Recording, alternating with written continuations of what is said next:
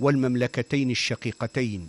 يستقبل جلالة الملك محمد السادس نصره الله ضيف جلالته الكبير عاهل مملكة البحرين جلالة الملك حمد بن عيسى آل خليفة الذي يقوم بزيارة خاصة لبلادنا. ستزيد من تعميق أواصر هذه العلاقات المتوافقة والمتطابقة في الرؤى وفي التعاطي الثابت والحازم مع حاضر هذه العلاقات ومستقبلها. يستعرض جلالة الملك وضيفه الكبير تشكيلة من الحرس الملكي تؤدي التحية الرسمية خلال زيارة صاحب الجلالة الملك حمد بن عيسى آل خليفة لبلادنا والتي تعتبر مناسبة لاستحضار عمق تجدر العلاقات والأواصر التي تربط بين العاهلين والبلدين الشقيقين.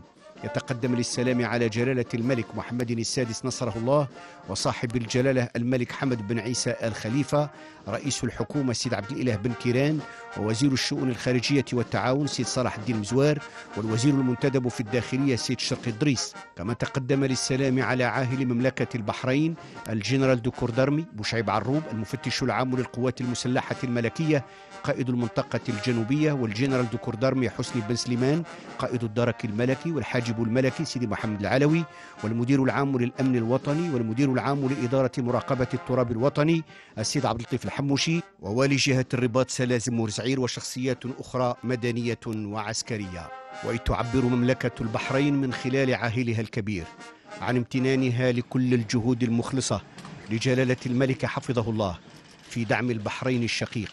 فإنها تعتز بكل الجهود الرائدة والبارزة التي يقوم بها جلالة الملك وهو يرسي نموذجا مغربيا سياسيا متقدما ونهجا تنمويا متميزا يقوي موقع المغرب اقليميا ودوليا في المجالات كافة.